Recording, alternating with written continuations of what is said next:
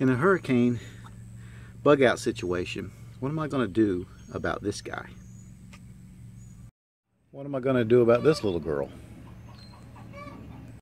And this guy, what am I going to do about him? And her, what am I going to do about her? And then what about these idiots? What do you do about them in a hurricane bug out situation?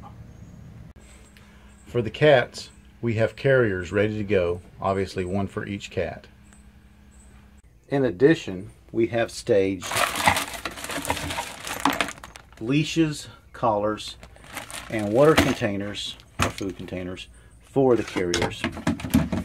And we even have a go bucket of um, cat litter. We don't store food for this because uh, our food containers are also in an easy to grab bucket and the plan is just to grab that and go. I have a large carrier for the dog. Uh, it's currently uh, doing double duty as storage but it's easy to get a hold of and put together. And we also have this uh, fold down cage. I don't know that I would take it with me, but you know, if, if we had room and time, it's something to have. That takes care of the pets, but what about the chickens? Well, I've thought a lot about that, and I really welcome your comments and, and, and uh, your ideas of how you've planned on bugging out when you have livestock or, or I don't know if you call this livestock, if you have chickens specifically. And my plan is pretty much the same I would use if I was going away for a week.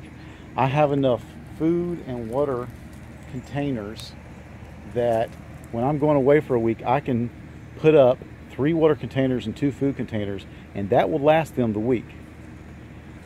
And my plan, if we had to bug out for a hurricane, is to leave them locked up, give them food and water, and wish them the best.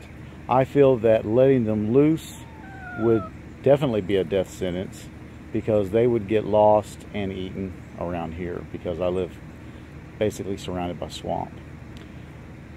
So that's how I plan on taking care of my pets in a hurricane bug out situation. I'm very, very interested to hear your ideas.